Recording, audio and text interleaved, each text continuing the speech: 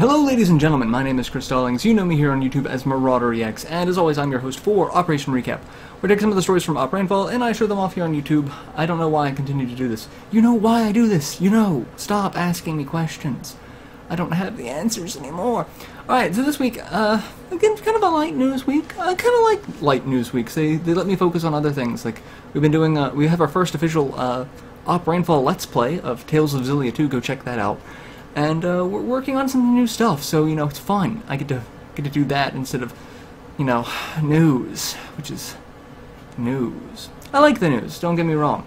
So the three stories that I've got this week, all news, all news. The first one, Fire Emblem is finally coming to Europe.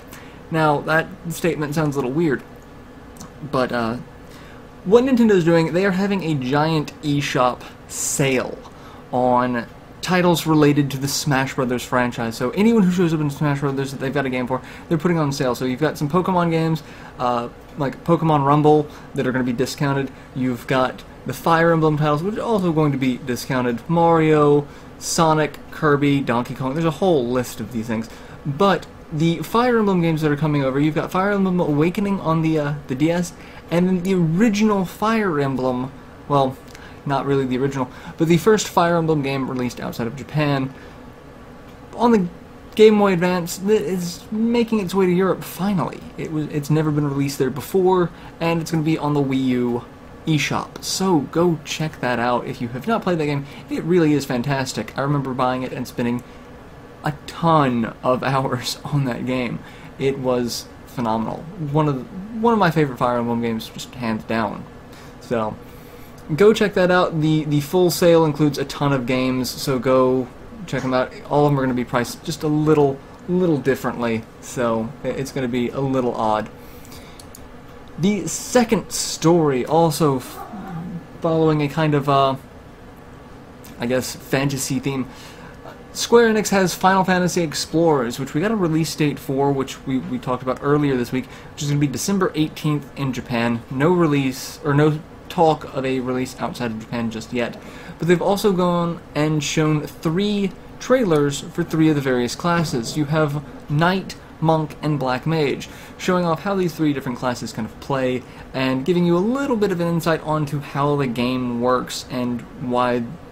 giving a little bit of flavor to different classes, making it, you know, a unique experience rather than just one has magic, one doesn't, that sort of deal. Go check those trailers out. It looks interesting. I am really hoping for a U.S. release on this, so let's uh, let's keep our fingers crossed on that one, and just gonna just gonna go with it.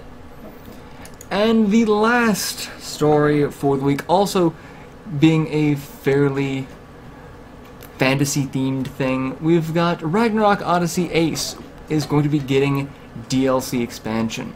So I haven't played Ace. I've played a little bit of, you know, a lot of the older Ragnarok Odyssey stuff, but I haven't played Ace. It is on my list of things that I really want to buy, and there's adding more stuff to it. Uh, new skills, daily quests, daily login bonuses, uh, outfit sets, and a boss rush mode, just to name a few of the things that are on there.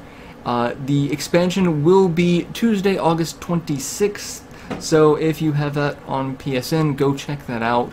Uh, if not, if you were waiting for something that's like, maybe the game's not quite my cup of tea, not really my thing, but yeah, there it is. So there's, you know, more stuff added to it. Maybe that'll tip your, tip, tip into your favor.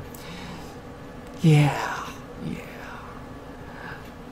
That's really it. I got, that's I, this is really the fastest recap I've done in a long time. I kind of wanted to do a specific question. We've been, there's there's one of the new hires has a, a question uh, in our staff room, and it's been one of those things like I really want to answer this. I really want to ask this question amongst the viewers as well, but I don't want to spoil his article. So uh, I'm I'm trying to think on the spot of a, another question that could be asked that I, I really just can't. I really can't. Uh, well, here, how about this one? What would be a game that was released in one particular region that wasn't released in others that you would like to see released in others just to see how that game would fare with a different audience? What what game would it be? Like obviously there's you know a couple of you know mother titles that weren't released outside of Japan. I mean, they were fan translated, so we already know the example of that one. But you know, there's there's some games that kind of Europe only, kind of America only, kind of Japan only. I'm kind of curious as to how they'd fare. Think about it. Just let me know. If there's a game that got released somewhere that you just sat there and drooled over and like, not in my hometown. So sad. Anyway, I'm gonna go and enjoy the rest of my weekend. I strongly suggest you guys do the same, and I will catch you next week.